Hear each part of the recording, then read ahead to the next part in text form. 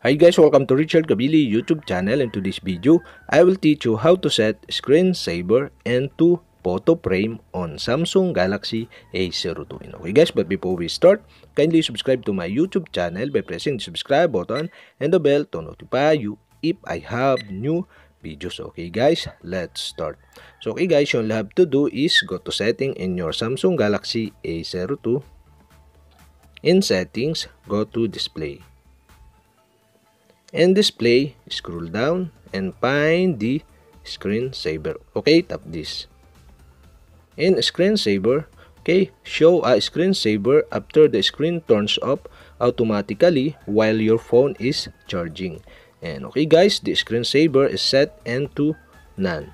And okay guys, in this tutorial, I'll show you how to set and to photo frame the screensaver of your Samsung Galaxy A02.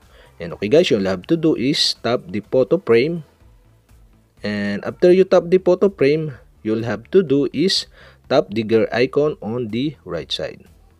To select the folder of photo you want to put on your frame.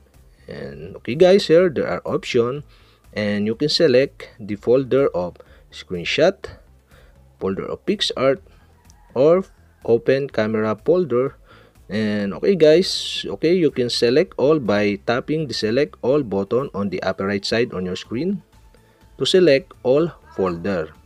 And okay guys. I decide to select the camera folder only. And okay guys. Go back. And okay guys. After that you can preview the photo frame by tapping the preview button below And okay guys, that's it. We have successfully set the screensaver into photo frame on your Samsung Galaxy A02. And okay guys, if you have a question, kindly comment below.